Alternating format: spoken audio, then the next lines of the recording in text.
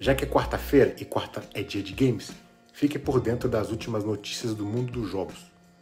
O jogo Cyberpunk 2077 receberá uma edição Ultimate, que será lançada em breve no dia 5 de dezembro. Essa nova versão do jogo incluirá o jogo base e a expansão Phantom Liberty. O preço esperado para a edição Ultimate é de 60 dólares, em torno de 300 reais no Brasil, ou seja, full price.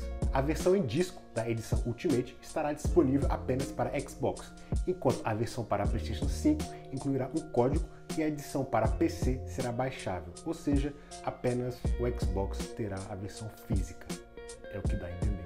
A última atualização para o nível extra do serviço PlayStation Plus adiciona o jogo Teardown no dia de lançamento, juntamente com outros oito títulos. O nível extra oferece aos assinantes todos os benefícios do PS Plus básico, além de acesso a jogos para PS4 e PS5. Os assinantes do PS Plus Extra podem aproveitar jogos gratuitos, descontos exclusivos e multiplayer online, além dos jogos rotativos, que são os destaques do Extra a Epic Game confirmou a participação do Eminem no evento Big Bang do Fortnite, onde os jogadores poderão adquirir três skins do artista: Slim Shady, o próprio rap, Rap Boy, a persona super-herói dele, e o Marshall Nevermore, no estilo mafioso. As skins serão lançadas em 27 de novembro e quem possui a skin Marshall Nevermore poderá desbloquear a variante Marshall Magma ao assistir ao evento em 2 de dezembro.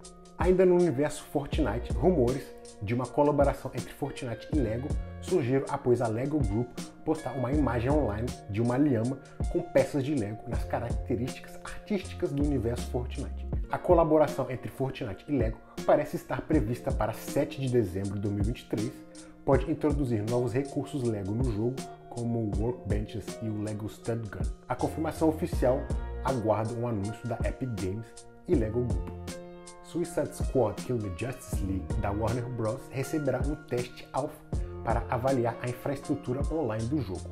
Inicialmente previsto para 2022 e adiado para fevereiro de 2024, o jogo enfrentou críticas por elementos de serviço durante uma prévia de gameplay em fevereiro de 2023. O período de teste alfa está marcado para 30 de novembro a 4 de dezembro e para se registrar, os jogadores devem ter uma conta Warner e ou acessar o link de teste no site do jogo e concordar com o acordo de confidencialidade para participar.